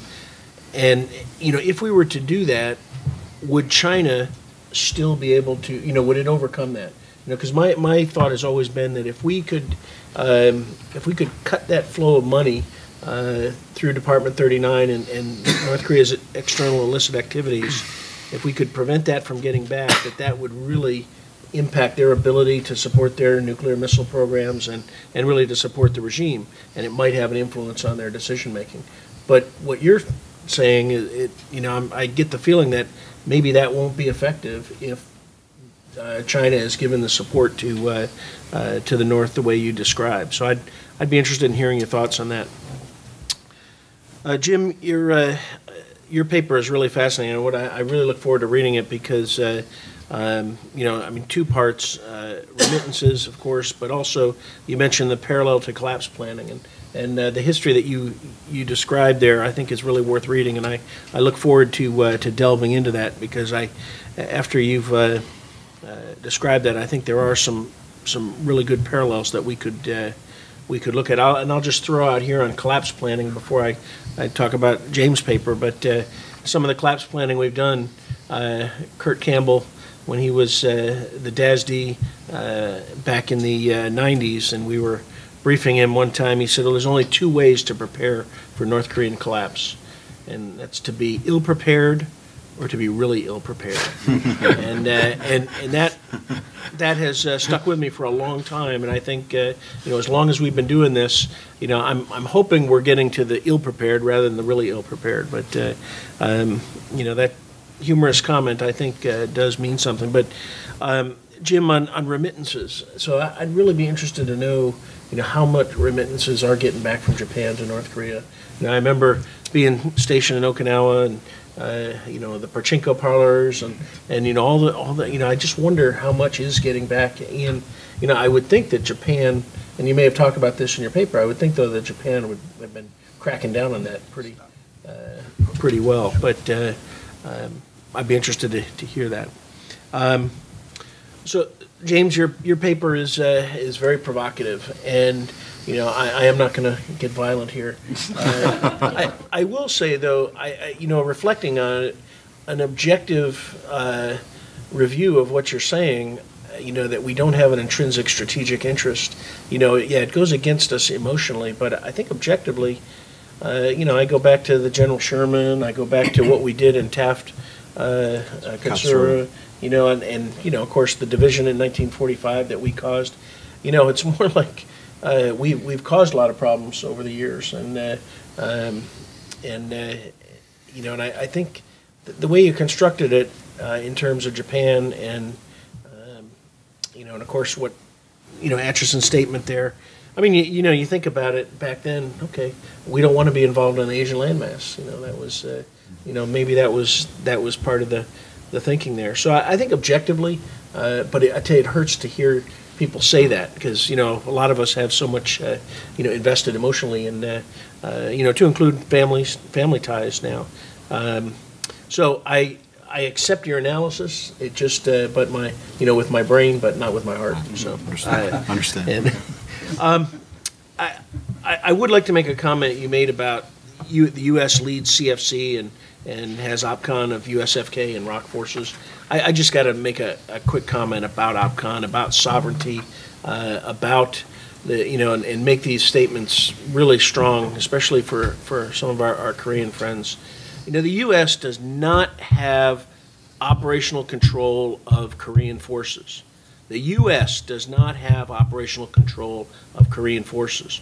The ROK U.S. Combined Forces Command has operational control of the forces that the ROK government chooses to provide to CFC and of the U.S. forces that the U.S. government chooses to provide to CFC. And it exercises, there, there is an American commander, but he is working for the military committee you know, which answers equally to both presidents.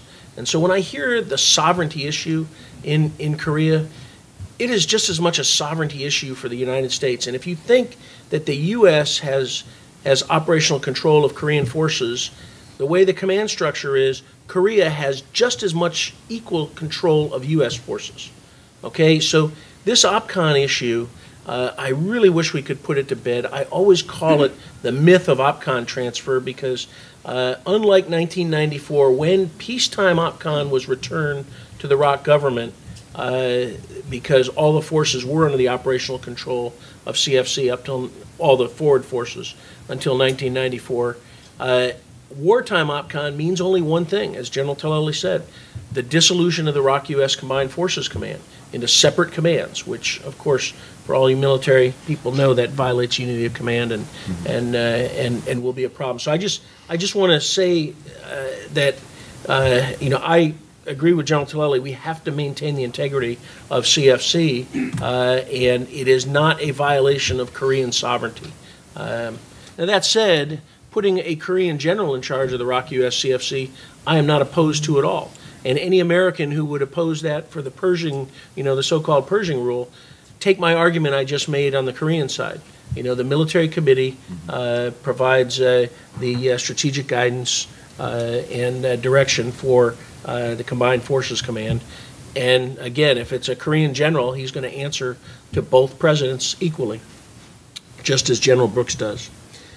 Uh, I, I believe unification is the only way out in, on the peninsula. I think that that's really the only the only way we're going to see an end to the nuclear program, as well as the crimes against humanity uh, that are being committed against the Korean people living in the north.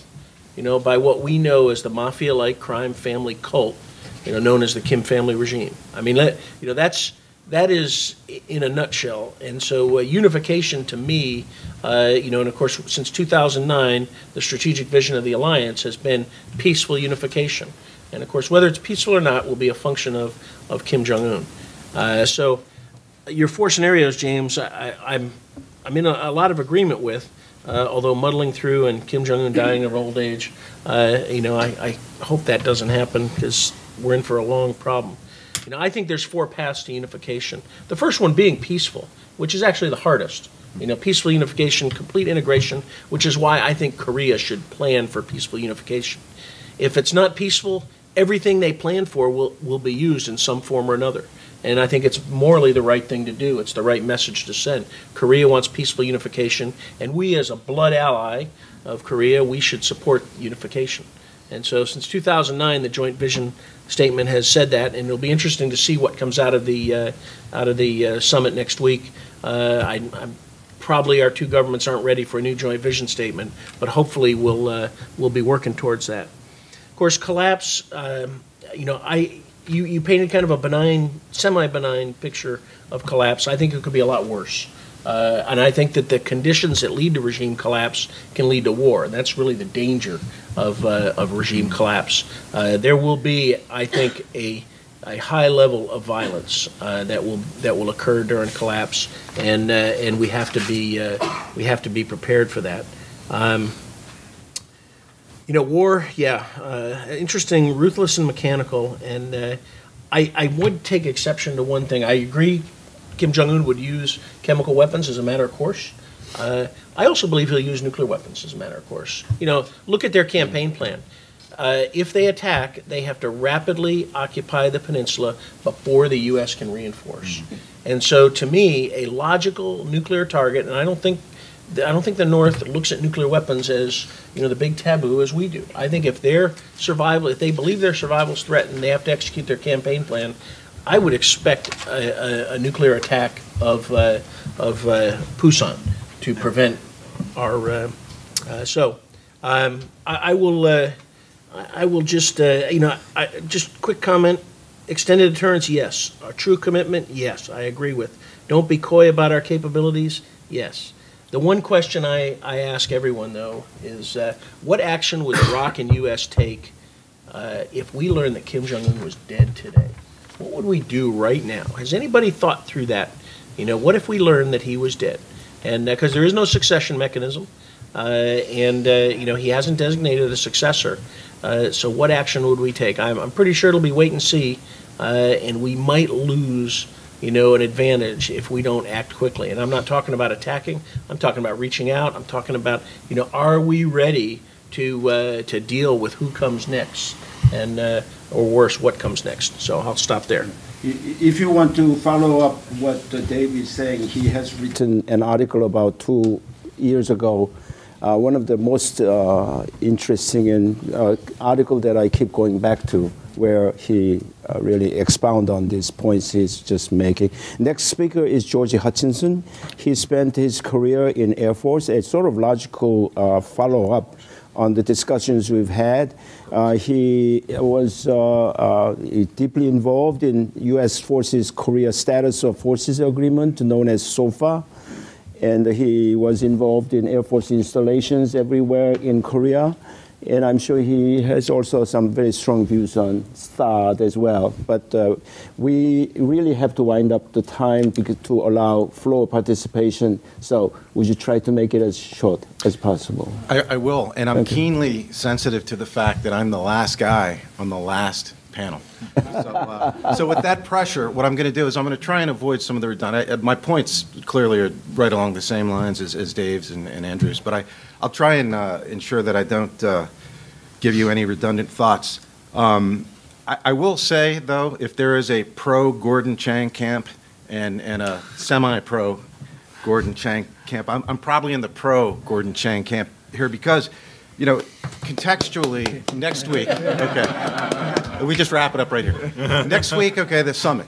We've got the summit taking place next week, and from a contextual, when, when you when you pull China into that context, really China is very important to both Trump and Moon. Trump clearly wants to use China in this max pressure piece.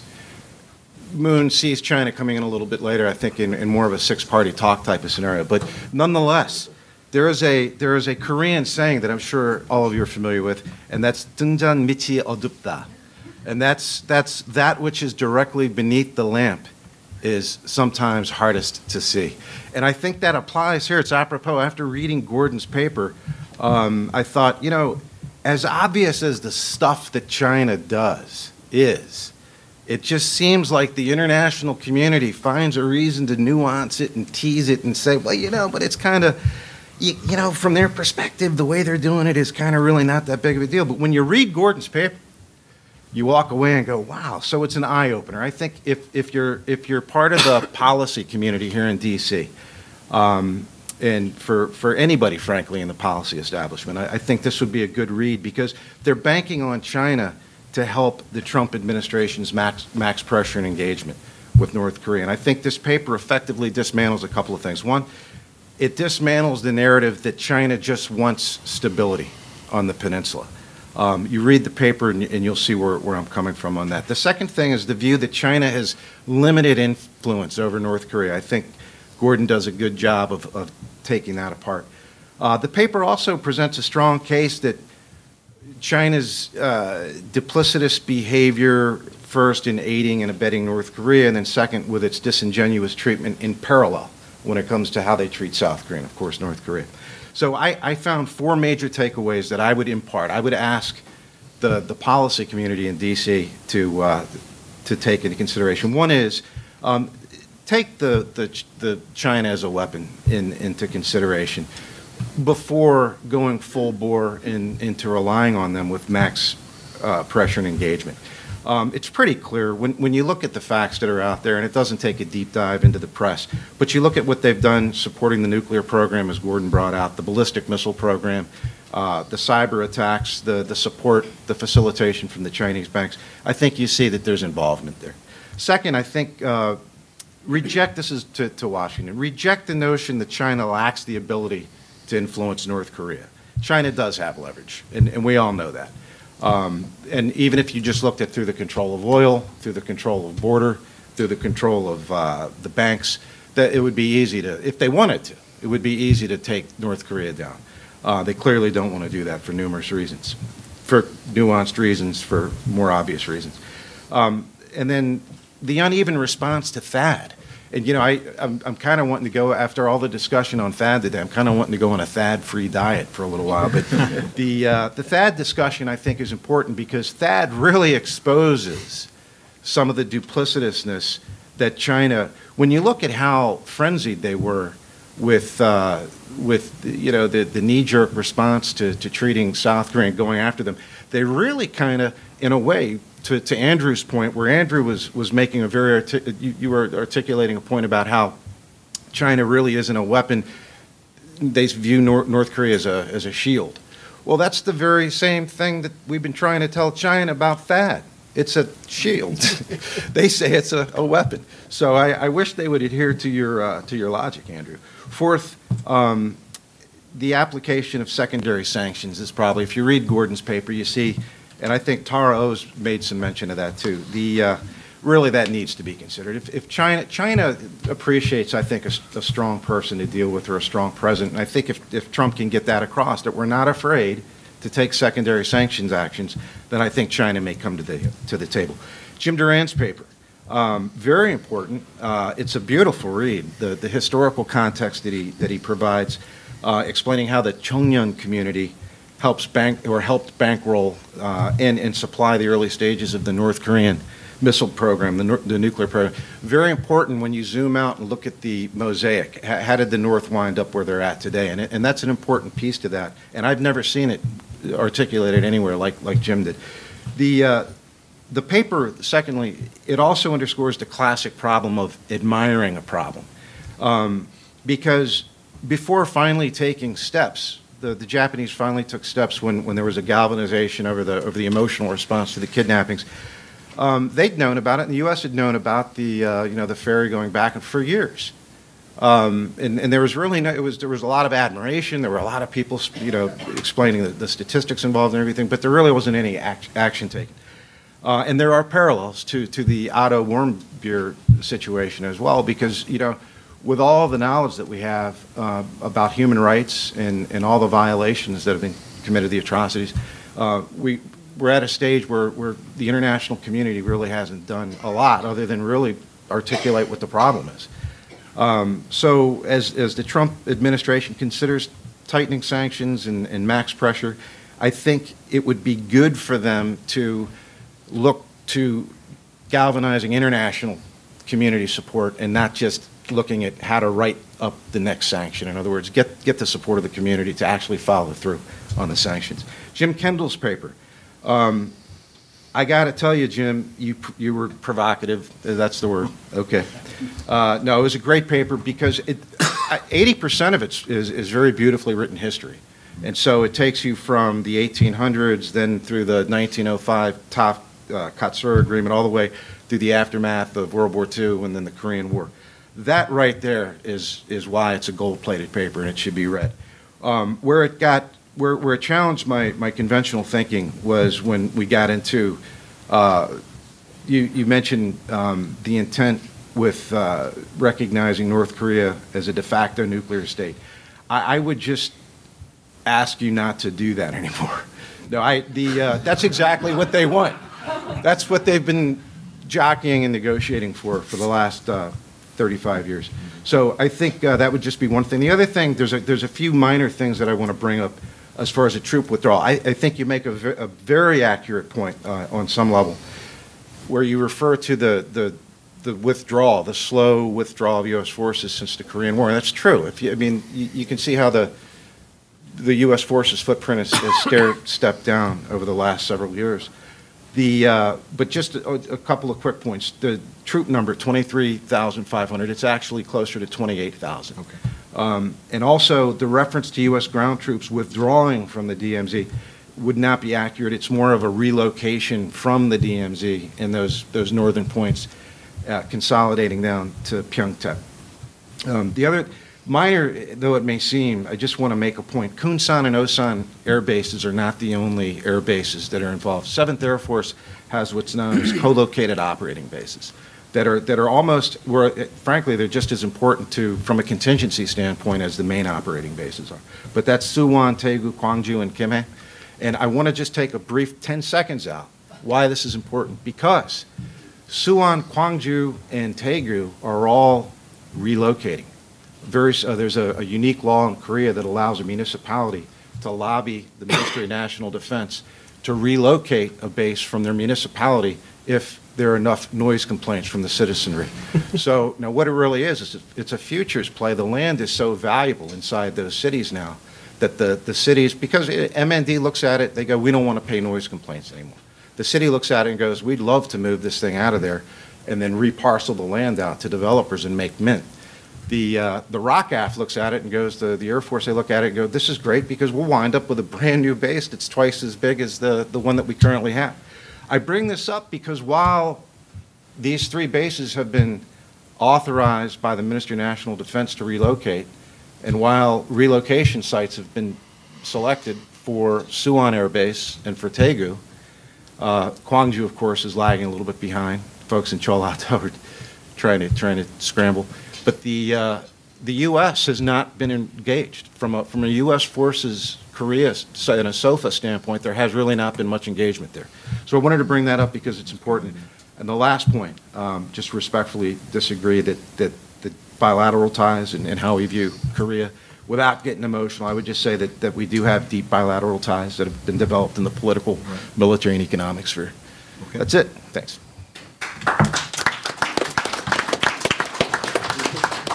President uh, uh, gave us uh, some extra time, but we still have a short of time. I'm sure the floor has a lot of questions. We have exactly 20 minutes, and the three speakers will respond to discussants' questions, and we'll have to limit it, and perhaps uh, you can elaborate a little further as we get the audience involved. So first, uh, Gordon, where you go? Well, thanks, George.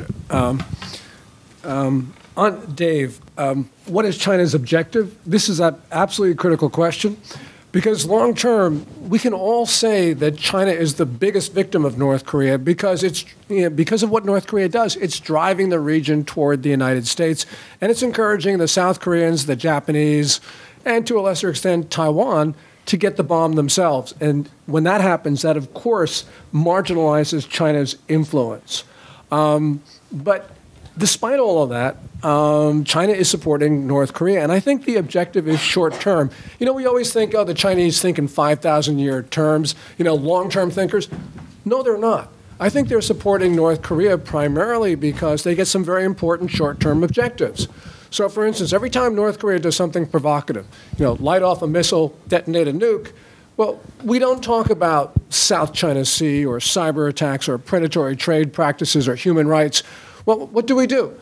We send a high level envoy or the Secretary of State to Beijing to plead for China's cooperation. And because of that, China gets a lot in return because they're ruthlessly pragmatic. And so, in the short term, they see this as a great dynamic. On your second question um, about Department 39, would China overcome whatever we do? Um, they wouldn't if uh, the United States imposes um, sanctions on Chinese banks. So, for instance, every time a Chinese bank involved in money laundering for North Korea, if we deny it uh, access to its U.S. dollar accounts, put them out of business, um, that would rock global markets, require a lot of political will. But for the first time, ladies and gentlemen, it would tell Beijing that we were serious about protecting the American homeland, and it would work. Um, so there are a lot of things that we can do here, and once we push China to the edge, they're not going to be able to overcome uh, Department 39. But you know, all you have to do is just unplug one bank. You don't have to actually, you know, push China into um, political turmoil itself, which is probably what would occur. All you have to do is unplug one bank and convince them that we were willing to go further. Because if we're willing to do that, then I think that we can push China to a much better place. Um, Andrew, um, if uh, the Chinese really see North Korea as a shield, and if they really do want stability, then the question is why are they making the region more unstable by nuking up North Korea? It, it, the two just cannot be true at the same time. And so it seems to me that, you know, as we look at these short term objectives that you just mentioned in connection with Dave, um, I believe that the Chinese do see it more as a weapon than as a shield. Xi Jinping, the current Chinese ruler, sees the United States as his primary strategic adversary, and so therefore he's not going to do anything to help us. The one thing that we could look at further is that one can argue that there are elements of the Chinese political system that especially support North Korea, such as the Chinese military and some of the enterprises that are associated with the PLA and so they're the ones who have been sending off this technology to the North Koreans, maybe in, in, in um, and, and I'm sure that the, the diplomats in the Ministry of Foreign Affairs don't like this. But the point is, you have a political system that maybe is not coherent when it comes to North Korea and this is a long conversation. We don't have time for it now, but I think we should at least put it on the table. But the point is, when you look at the totality of what the Chinese central government and the Communist Party is doing, it is supporting North Korea in a way that is inconsistent with the notion of China wanting stability or seeing North Korea as a shield. Right now, unfortunately, we have to come to the conclusion where the facts lead us, and that is North Korea is China's weapon. Um, will the other two speakers uh, allow this sort of discretion a little bit? The, we open to the floor, and then some questions might be collapsed together with some of the discussion comments. So we will entertain three questions first, at, and then we'll respond at the same time, including response to the discussion points. And three gentlemen is one, two, three. Yes. No, no, the gentleman behind you first. You're the second, Hugo. Yeah. This is primarily to uh, James Kendall, but uh, some of you may want to comment on this as well. In recent years, as North Korea has developed uh, a nuclear weapon strike capability and is now advancing towards an ICBM nuclear strike capability, the North Koreans have begun to speak more loudly about the demand that the U.S. agree to enter into a bilateral peace treaty negotiation with North Korea as the formula for resolving U.S. concerns about North Korea's nuclear weapons capabilities. In this country now, there is a small but growing number of Korean experts here who are also beginning to advocate that the United States agree to enter into a Korean peace treaty negotiation with North Korea. One of these people is going to be a main speaker at the ICAS seminar this coming Monday. It seems to me that as North Korea shortly reaches the pinnacle of actually developing and starting to produce. I'm sorry, but I'm going to have to ask you to the. US. to- These voices advocating a peace treaty negotiation are going to get louder. The Bush and Obama administrations took a very brief position that the nuclear issue had to be settled first. But with North Korea developing an ICBM, denuclearization, it seems to me, will become moot as an objective. So if that point comes, as is very possible now, how do you think we should start to deal with the peace treaty issue in the future diplomatically? An excellent question. It must be dealt with. Next is Dr. Kim. It is very hard to take a side between the One minute. Gordon Chang and Andrew, Andrew Kemp. So I instead I'm going to give you a question. The probability of proxy Trump's engagement with Xi Jinping, what's the possibility as a fortune teller, both of you? Okay. Thank you. If she doesn't do, I will do it. So what, what does he have in his pocket? Next.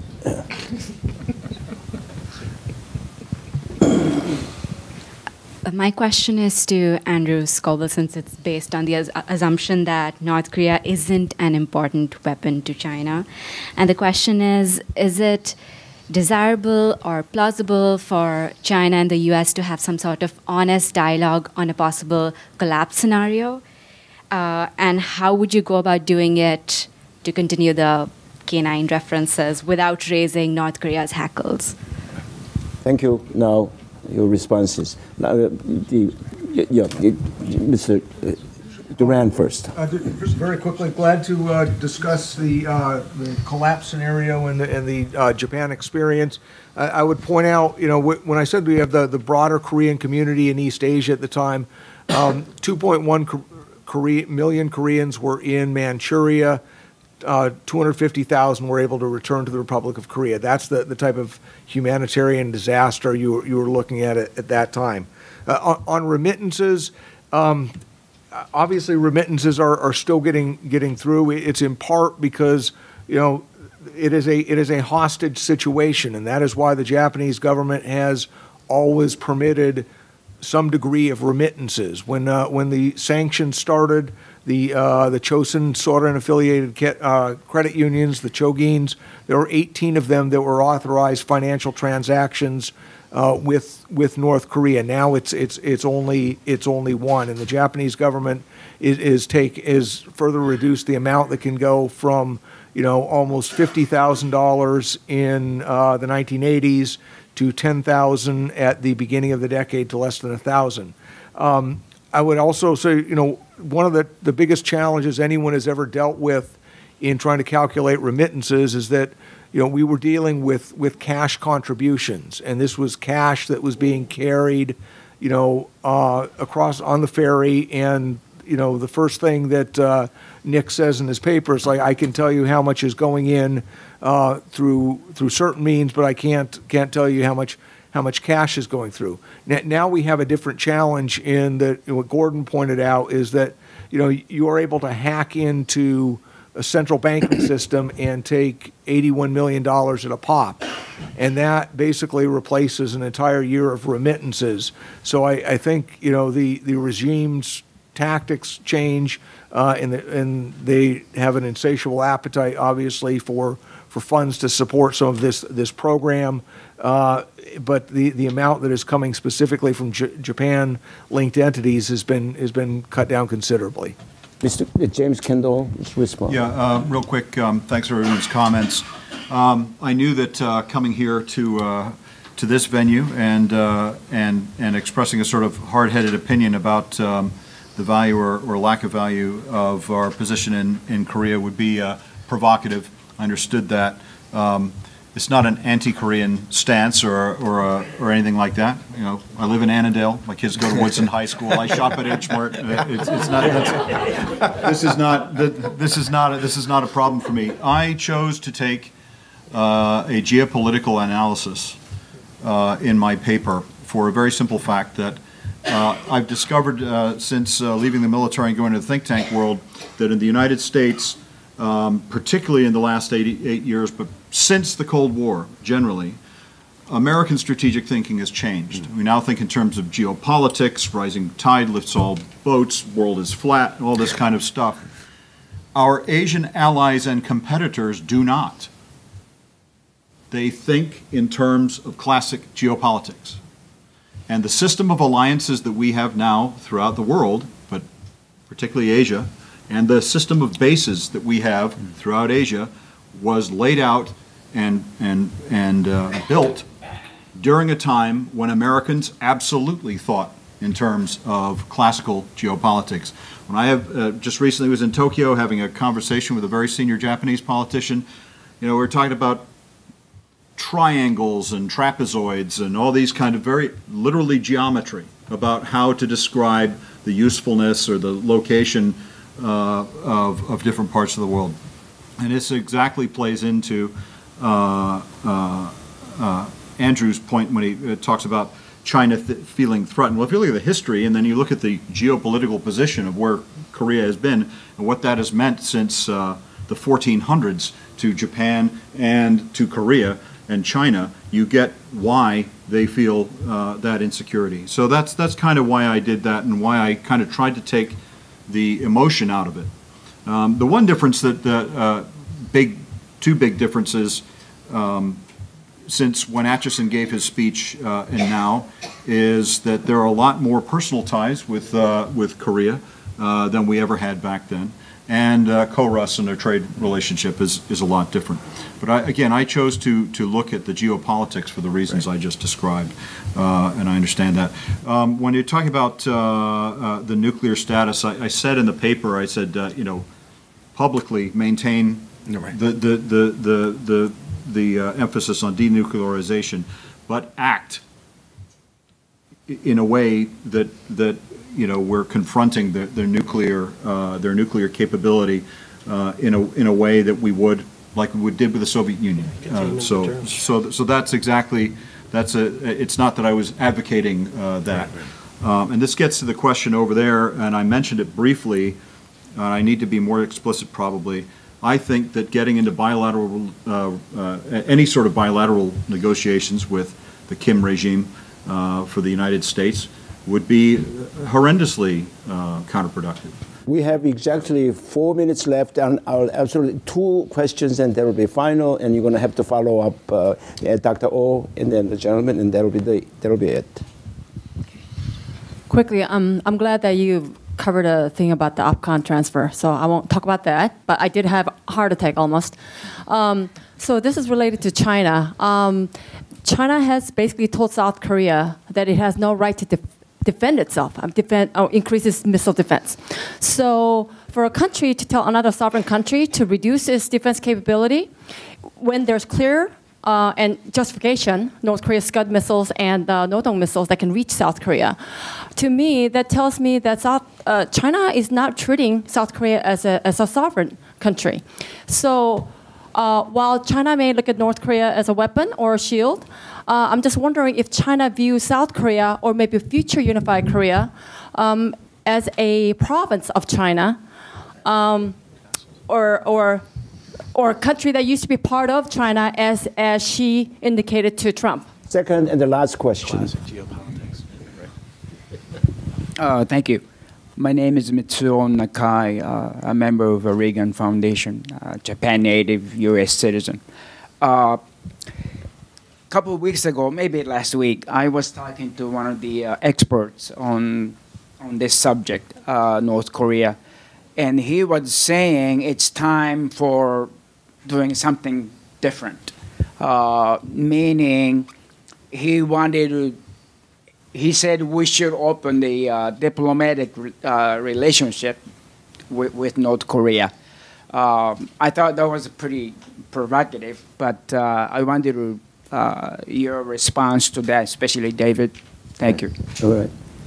Yeah, we have three minutes to wind it up. Anybody who Just has quickly on that, the Perry policy, I mean, that was one of the, that was on the path, as General Tilelli said, you know, you follow one path, you'll get the goodies, uh, the path, the evil path, you know, you'll, so, I mean, that, that's been out there before, and, and North Korea had an opportunity to do that, but they've broken every agreement they've ever made, and, you know, they don't function as a, a responsible member of the international community, so. I think Tara has put her finger on something extremely important, and that is basically Beijing views surrounding countries as inferior.